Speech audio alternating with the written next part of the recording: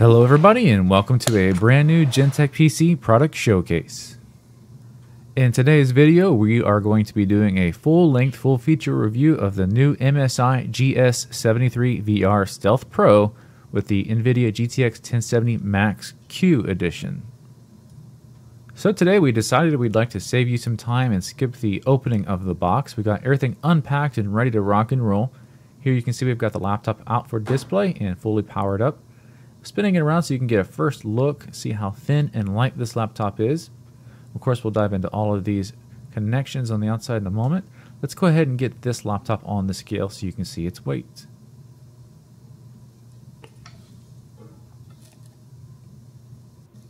All right, so the laptop alone is going to come in at 5 pounds and 3 ounces.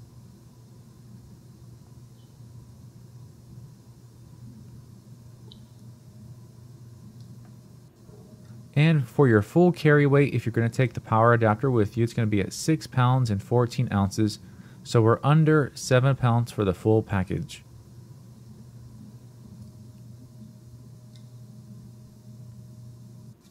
All right, now for measurement, to get things in scale for you, here is a standard quarter and penny.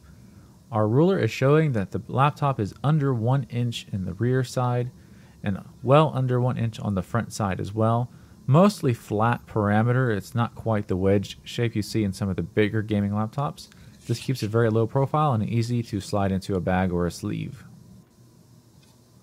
Alright, so now it's time to get back to the carousel, take a nice zoom in and take a look at all of the user interfaces. So on the front side we have no connections but we do have our status LEDs. Over to the left hand side we're looking at a USB 3.0 port, the Thunderbolt port, HDMI output, mini display port, and the DC port for powering the laptop and charging the battery. Swinging around to the rear side, we have no connections to the rear either, just the exhaust for the cooling system. And then finally, as we get to the left-hand side, we have our Kensington lock port, the RJ45 networking port by Killer, the SD card slot, three USB 3.0 ports, and our two 3.5 millimeter audio connections, one for your headphones and one for a microphone.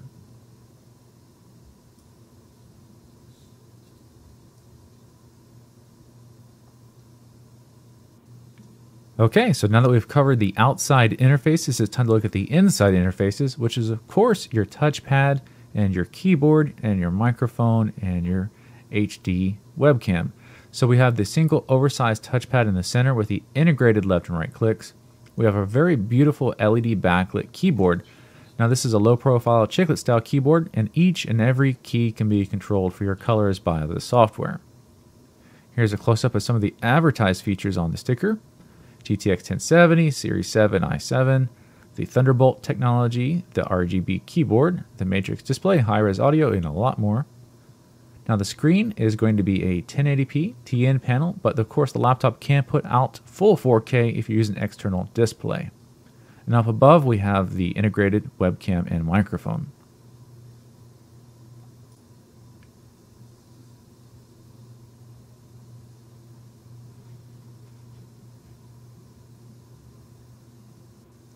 All right, so with the outside of the system covered, it's time to move into the internal components, and here is a list of those in the device manager. Some of the highlights are, of course, the i7 7700HQ CPU. That's from the newest Kaby Lake series. Information on our computer screen here. Here's the monitor panel. We've got the 120 hertz refresh rate on our screen. And here is our standard 1920 by 1080p resolution. And lastly, our final specs check is going to be the graphics card. Here is the NVIDIA GTX 1070 Max Q Edition. And this is going to be the biggest part of the review is testing this card out to see if it lives up to the claims to be using less power, run cooler, but still give us the same performance of a standard 1070. All right, so now it's time to start some benchmarks, but before we do that, let's get our controlled readings. So here is the current ambient temperatures for the CPU at about 70 degrees Celsius and the graphics card at about 47 degrees Celsius. All right, so now moving into the benchmarking section of our review, the very first thing we're going to do is get our feet wet and just break out that thermal camera and show you all of our outside temperatures based on the laptop at its idle state. So best thing to look for here is any kind of heat leaks, if there's any spots that are hot that shouldn't be. What you do want to see is the keyboard usually lets some air out and lets that cool the laptop down, and you want to see the exhaust having most of the heat in the back.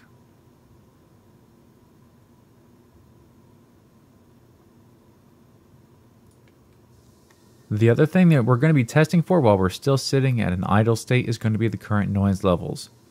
These are going to be read with a noise meter and we're putting it right next to the exhaust so we can see how loud the exhaust system is. And of course we'll retake these readings again when we get the system under load running our performance benchmarks. All right, so now it is time for the performance benchmarks to kick off. The part that most people are really interested in is seeing how great this system will perform, especially with the reduced load GPU that's using less electricity and less heat. So usually performance is always a cost of that. So let's see how it does. Now while the system's under load with the benchmark, let's retake those readings for the noise and also for the temperatures.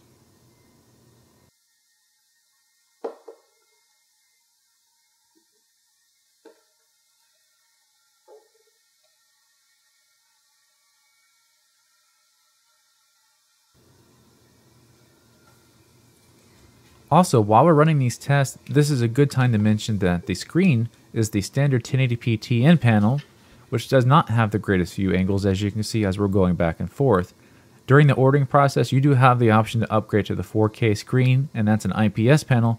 It'll have much better view angles and the extra resolution. Both of those could be important to you depending on what you're going to use your laptop for, and just keep in mind that anything you upgrade through our store is covered under your warranty.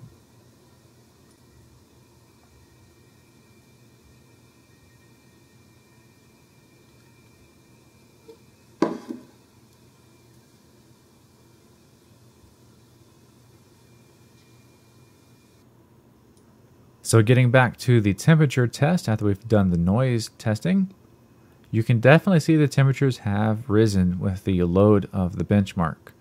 But nothing extreme, everything is holding its temperatures as it should be. No hot spots where the hands are going to be, keeping it a nice comfortable experience.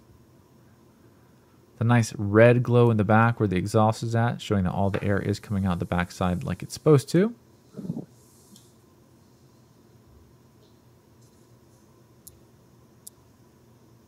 And here we can see our hottest readings right now, shy of 50 degrees Celsius.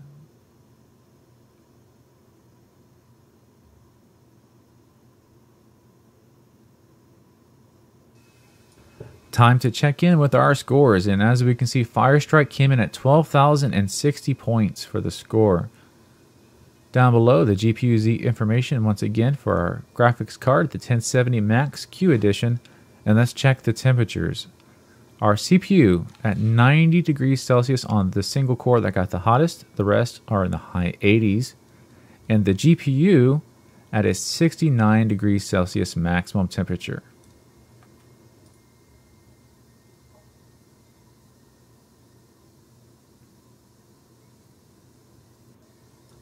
So we're not quite done yet. Still more benchmarks and stress tests coming your way. Right now, Cinebench R15 is running. Let this run through its rotation and it will give us some rankings and the performance scores for how many frames per second that it can render.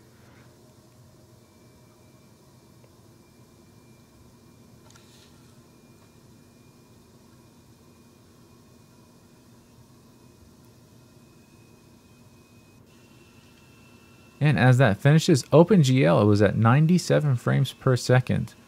And on the arbitrary ranking, it got the top of the list. Down below for the CPU, we're ranking somewhere in the middle. And of course, the CPUs up above it are much more powerful desktop CPUs. So that's not quite a fair comparison. Blender 2.78. So here we have some 3D modeling software. There is a nice little benchmark where we render the entire planet Earth that we're about to run in a moment. So here is all of our current settings.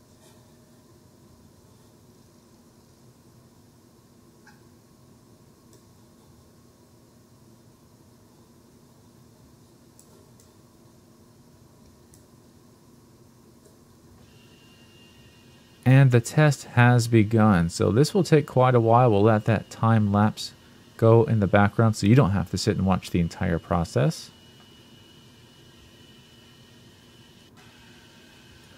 All right, so the scores are in, and the GTX 1070 Max Q Edition did great. It actually got a score of 24 minutes. And compared to, say, the GTX 1080 that took 22 minutes, that's only a two minute difference.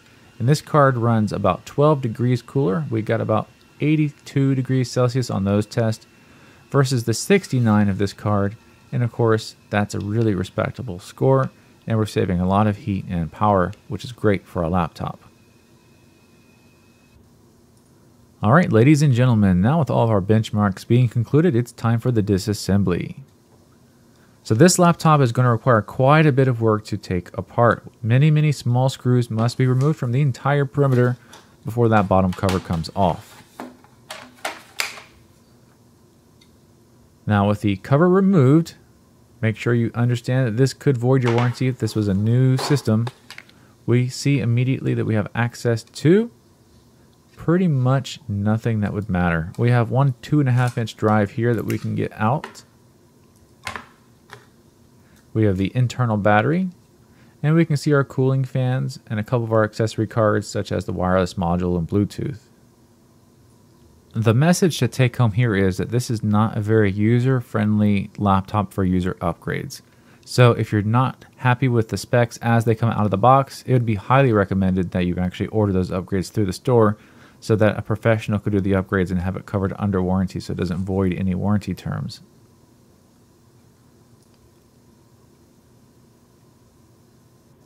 And now, even with that said, we are still going to take the system apart so you can see what it looks like in the name of science. So our two and a half inch mass storage drive is removed. The internal battery is removed. Our accessory cards are removed. As you can see, those were attached by ribbon cable. The motherboard itself is also removed from the system. On the opposite side of the motherboard is where the RAM slots and our M2 SSD are located. The other thing that should be easy to see from this angle is the cooling fans. We have not one or two, but actually three cooling fans in this system. Two of those being dedicated to the graphics card. Tons of heat pipes to get the heat transferred away from the components and into the fans to get sent out of the system. And that, everyone, is going to be the end of our review for today. We very much hope that you were able to enjoy today's full-length feature review for the MSI GS73 VR, and that our video was able to answer any questions that you might have had about the laptop. Of course, if you have any other questions that we weren't able to answer in the video, feel free to ask down below in the comments section and we can answer your question for you and everybody else. If you need that one-on-one personalized help, then feel free to reach out to us and contact us by phone or email. If you want more information on the product, of course, go to the description of the video and find the product link to the product page where we have the current pricing and availability. So we just want to remind everybody once again that this was Gen Tech PC, and we'll see you next time.